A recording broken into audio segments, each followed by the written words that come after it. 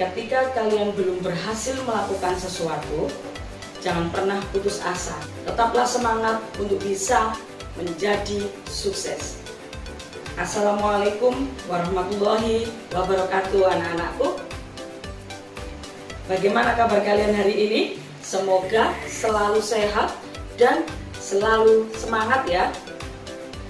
Pada pertemuan kali ini kita akan membahas tentang atletik yaitu start melayang dan cabang olahraganya.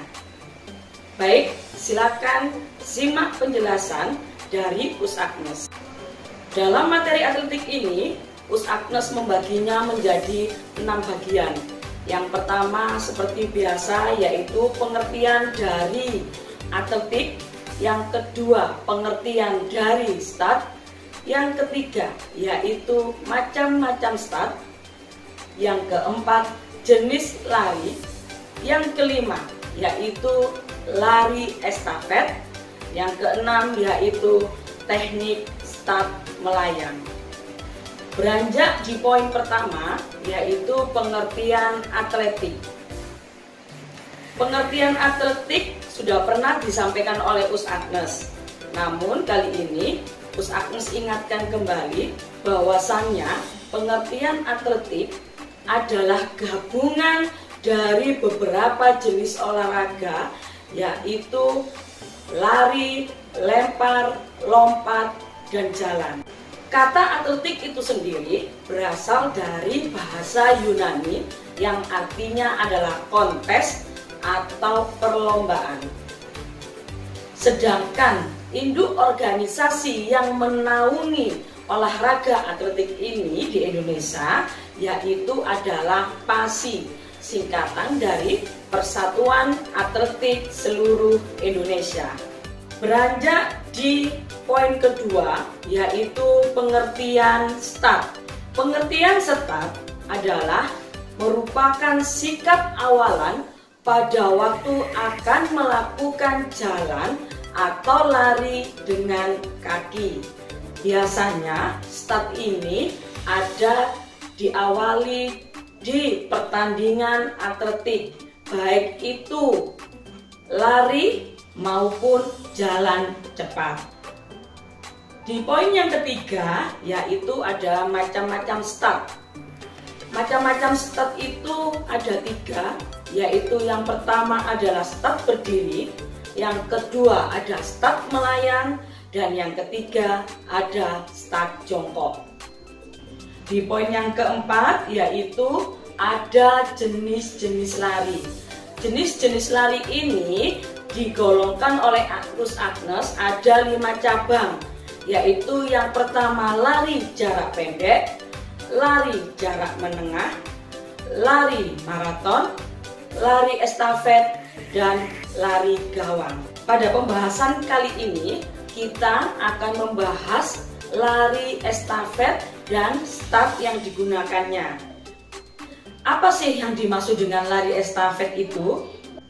Lari estafet adalah lari yang dilakukan secara beregu yang berjumlah empat orang di dalam satu tim dan melakukan lari secara sambung menyambung dengan membawa sebuah tongkat estafet untuk diserahkan pada pelari berikutnya.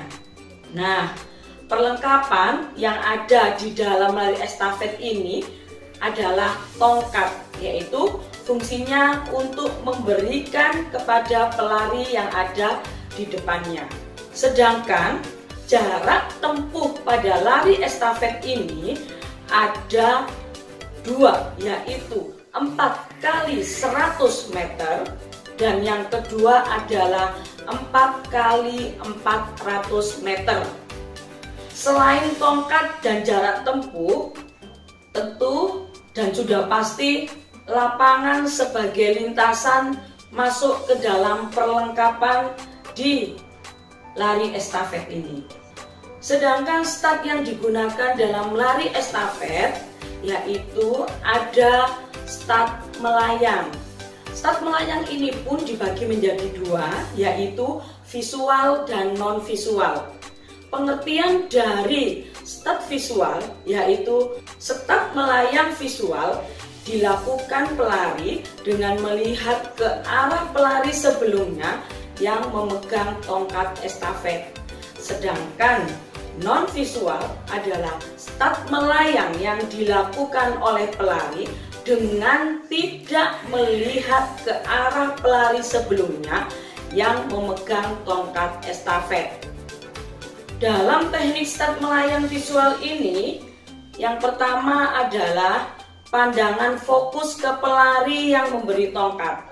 Yang kedua, berlari berlahan menuju pelari selanjutnya dan tetap melihat ke arah pelari yang memberikan tongkat. Yang ketiga, julurkan tangan ke belakang, fokuskan pandangan ke arah tongkat. Dan yang keempat, jika sudah mendapat tongkat, fokuskan pandangan ke arah depan dan berlarilah sekuat tenaga menuju pelari selanjutnya. Yang berikutnya adalah teknik start melayang non visual. Yaitu yang pertama, seperti yang di awal tadi, tetap pandangan fokus ke pelari yang di depan. Yang kedua, berlari berlahan menuju pelari selanjutnya sambil menjulurkan tangan ke belakang untuk menerima tongkat dari pelari yang ada di belakang. Yang ketiga, jika sudah mendapat tongkat, tetap fokus pandangan ke arah depan dan berlarilah sekuat tenaga menuju pelari berikutnya. Berikut adalah teknik start melayang non visual. Berikut adalah teknik start melayang visual.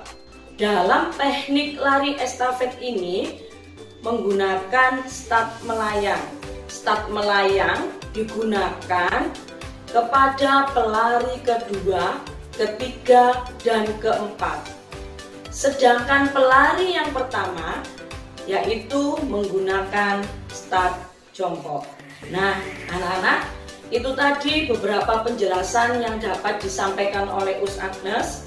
Mudah-mudahan apa yang disampaikan oleh Us Agnes dapat kalian pahami, dapat kalian mengerti, dan jangan lupa dapat juga dipraktekkan. Sekian dari Us Agnes, mudah-mudahan apa yang disampaikan dapat bermanfaat. Jangan lupa sholatnya, membantu orang tua, dan selalu menjaga diri dari hal-hal yang tidak diinginkan. Sekian dari saya. Wassalamualaikum warahmatullahi wabarakatuh.